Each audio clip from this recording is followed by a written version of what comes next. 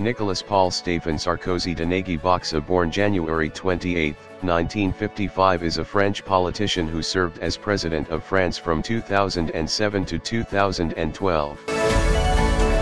Born in Paris, he's of Hungarian, Greek Jewish, and French origin.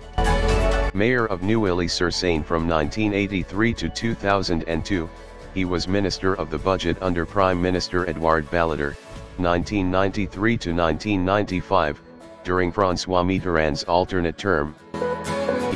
He won the 2007 French presidential election by a 53.1 to 46.9 periphery against Ségolène Royal, the Socialist Party, PS, seeker. During his term, he faced the fiscal extremity of 2007, 2008, causing a recession, the European autonomous debt extremity, the Russo-Georgian War, for which he negotiated a ceasefire.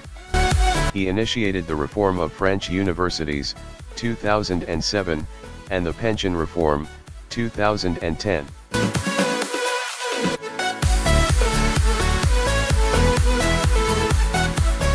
Thank